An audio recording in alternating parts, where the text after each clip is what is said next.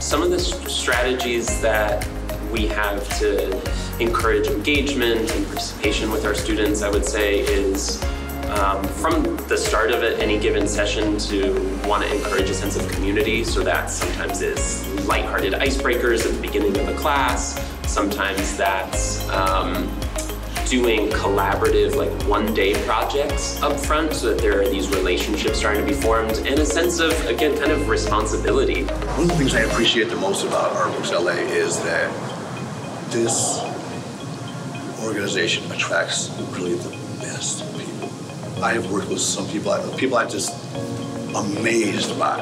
Um, I, I've admired their work, and then I get to work in the classroom with them, and I admire their humanity. Being in front of the cameras as the actor, like one of the main characters now is like, it feels really good. It feels like you can take control of what you're gonna do. People are gonna help you, like, you know, like they're gonna help you come out of your shell. Like, people are here for you, you know? Um, my name is Allison Peck.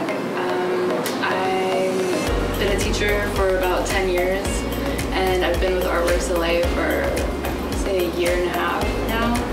Um, I feel like teaching is really important to my practice. It really revives the art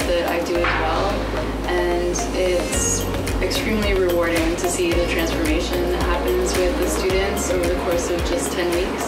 It's been really incredible to work with artworxLA over the past couple years. Um, they're unlike any nonprofit that I've worked with in the past in that the, there's the level of support and commitment. One of the benefits of the coordinator's position being someone who stays at the school year round is that I can get to know the students on a longer term basis.